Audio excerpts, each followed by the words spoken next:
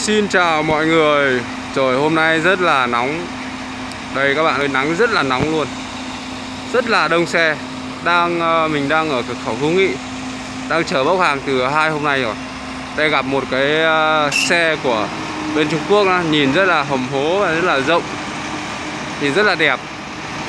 May là cái cái hôm nay là mình có một cái anh ờ, chạy chuyên ở Hữu Nghị đây này là anh ở gần nhà mình ấy. mình thôi, mình hỏi anh ấy sẽ lên ờ, xem là cái xe này nó như thế nào. Xe Trung Quốc nó như thế nào, bởi vì từ trước đến giờ là là mình chưa lên xe Trung Quốc bao giờ. Đây, xe này ờ, rất là tuyệt vời đây. Nó ốp ốp làm cái này rất là rất là nhìn rất là gọn gàng này. Nhìn rất là đẹp. Xe này lắp cả điều hòa rời này bên Trung Quốc là lắp quả diều hòa rồi.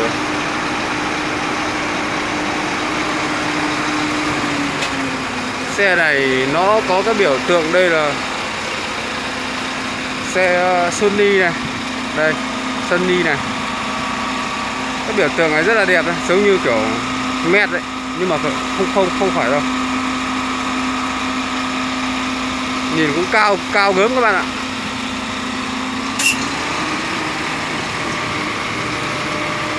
Giờ mình à, lên cabin xem, xe Trung Quốc nó có như thế nào.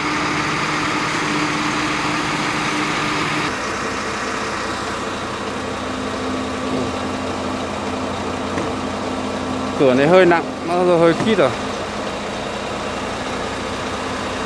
Ủa. chắn hết đường đi luôn rồi.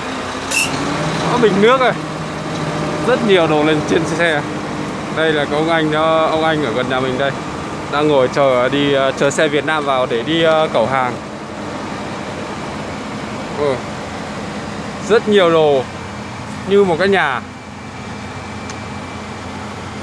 Ôi ôi, Trung Quốc này chắc là ăn ở trên xe luôn rồi.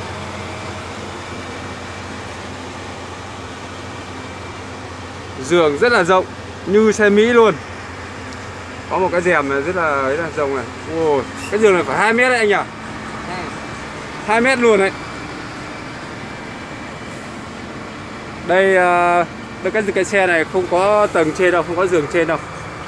Giường trên là để đồ đây rồi. Ba cái cốp. Đây rất là rộng này. Điều hòa đây mát rượi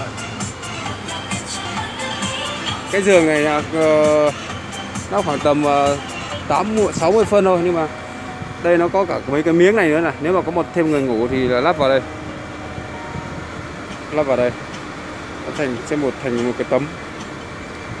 Ui nhiều xô thế ông này. Xô bát đũa này. Cơm tất tần tật này. Để trên xe luôn này. Xe Trung Quốc rất là bể bộ anh em nói không phải chê đâu nhưng mà đây nhiều đồ xe đang mở nhạc. Loa Trung Quốc là ngon nghe xịn phết đấy.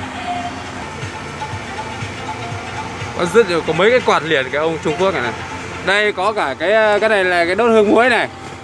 Ôi ôi. Ông đốt hương muối ở trên xe có mà chết ông tàu phựa này. Đấy quạt này. Hai cái quạt. Xe này là xe gì đấy Sunny. Sunny cái màn hình này phải gần 14 in đấy, nhỉ? Ừ. rất là to luôn này. Việt Nam làm gì có cái màn hình to như này? Là cái toàn là Trung Quốc rồi, xe Trung Quốc mà. Đây, cái cái cần số này là số sàn này 12 số. Cũng như xe Mỹ luôn, cao gần như xe Mỹ luôn này. Đây. Ôi rồi cao gần như xe Mỹ. Rất là rộng.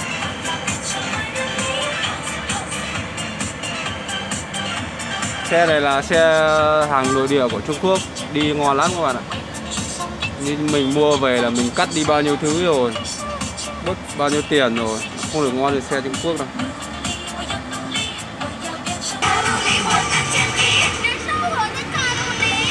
Xe này đi ngon lắm. Êm lắm này. Ôi rồi bóng hơi cũng như xe Mỹ luôn. Ở Việt Nam mà mua được cái xe này mà chạy Bắc Nam thì là Mỹ cũng ngang ngửa với Mỹ luôn các bạn ạ. Lùi camera luôn. Lùi nó lùi cơ. lùi camera nó lắp hết cả bốn cái cửa ở đây.